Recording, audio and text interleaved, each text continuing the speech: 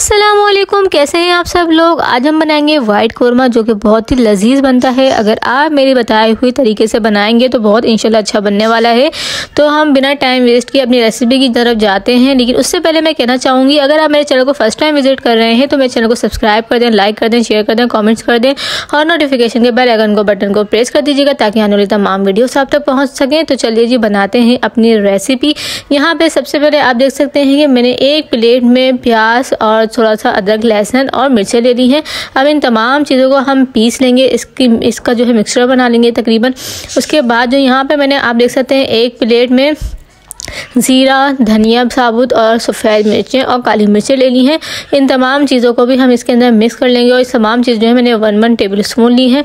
उसके बाद यहाँ पे हम एक बर्तन में एक कप तेल ले लेंगे और उसके बाद यहाँ पे जो मैंने मिक्सचर तैयार किया था, हम उसको इसके अंदर ऐड कर देंगे और इसकी अच्छी तरीके से हम करेंगे भुनाई ताकि प्याज के अंदर जो एक स्मेल होती है वो चली जाए और इसकी अच्छी तरीके से भुनाई हो जाए। जब तक सालन कोई भी हो, अच्छी भुनाई नहीं होगी तो सालन अच्छा नहीं बनता है। हमने इसकी बहुत अच्छी तरीके से भुनाई करनी है जब तक तेल ऊपर ना आ जाए। यहाँ आप देख सकते हैं कि इस मिक्सचर की बहुत ज़बरदस्त तरीके से भुनाई हो चुकी है, तेल ऊपर आ आ गया है। अब हम यहाँ पे हमने चिकन ऐड कर देंगे। चिकन आप अपने हिसाब से देख लीजिएगा कितनी आपने चिकन लेनी है। यहाँ पे मैंने चिकन ऐड कर दी है और चिकन को ऐड करने के बाद हम करेंगे इसकी बहुत अच्छे से भुनाई। जब तक कि चिकन अपनी शक्ल ना चेंज कर दे ये वाइट फॉर्म में ना आ जाए तो इसको हम अच्छे तरीके से भुनाई करते रहेंगे। तकरीबन चार से पाँच मिनट तक हमें इसकी भुनाई करनी है। और उसके बाद यहाँ पर हम जो है अब हम यहाँ पे अपने स्पाइसेस ऐड कर देंगे जो कि हमने तैयार किए थे। वो तमाम इसमें डालकर हम तकरीबन तीन से चार मिनट तक फिर इसकी भुनाई करेंगे। भुनाई से आपका फ्लेवर जो है मुर्गी का बहुत ज़बरदस्त हो जाएगा, क्योंकि हम मसाले के साथ इसको जब भुनेंगे तो मुर्गी में मसाले की जो है एक लज्जत आ जाएगी। तो इसको बहुत अच्छी तरीके से आपने तीन से चार मिनट तक भुनना है। उसके बाद यहाँ पर हम ऐड कर देंगे according to your taste salt salt हमने ऐड कर देना है। आपकी मर्ज़ी है, जितना आप डालना चाहें आप डाल सकते हैं। मैंने यहाँ पर तकरीबन हाफ़ टेबल टेबल स्पून जो है सॉल्ट लिया है। उसके बाद यहाँ पे हमने क्या करना है इसकी बुनाई करने के बाद आप देख सकते हैं कि तेल पूरा ऊपर आ चुका है। इवन के मसाला पतीली में लगने लगा है। इसको इतना मैंने भुना है। अब हम इसमें ऐड कर देंगे दही और दही को डालने के बाद फिर हम इसकी बहुत अच्छे तरीके से बुनाई करेंगे, तकरीबन दो से तीन मिनट तक।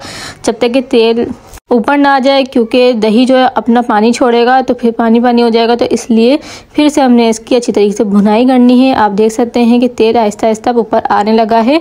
इसकी हमने इतनी भुनाई करी है। उसके बाद यहाँ पे हम थोड़ा सा पानी ऐड कर देंगे और उसके बाद इसको हम गलने के लिए तकरीबन पंद्रह मिनट तक ढाक हल्की आँच पर रख देंगे ताकि हमारी जितनी भी चिकन है वो अच्छी तरीके से गल जाए।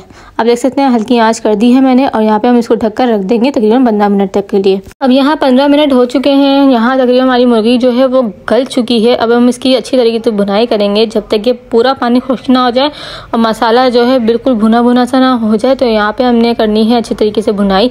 आप देख सकते हैं, मैंने इसको इतना भुना इतना भुना, सारा पानी जल चुका है और बिल्कुल मसाला आपके सामने कि थोड़ा बहुत मसाला इसमें रह गया है।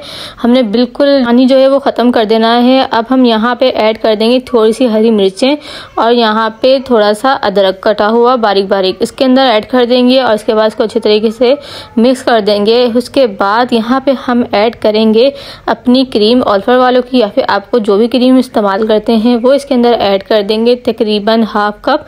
यहाँ पे आप देख सकते हैं मैंने क्रीम जो है अच्छे तरीके से इसमें ऐड कर दी है। और हाँ एक बात और कि अगर आप ग्रेवी रखना चाहते हैं तो आप रख सकते हैं। ये कोई वो नहीं है कि मैंने कम रखी है तो आपने भी कम रखनी है, आपकी मर्ज़ी है। अगर आप ग्रेवी रखना चाहते हैं तो आप थोड़ा इसमें पानी ऐड कर सकते हैं अदरवाइज़ आप इसको ऐसे ही रखें। अब यहाँ आप देख सकते हैं हमारी तैयार है, बहुत ही मज़ेदार वाइट कौरमा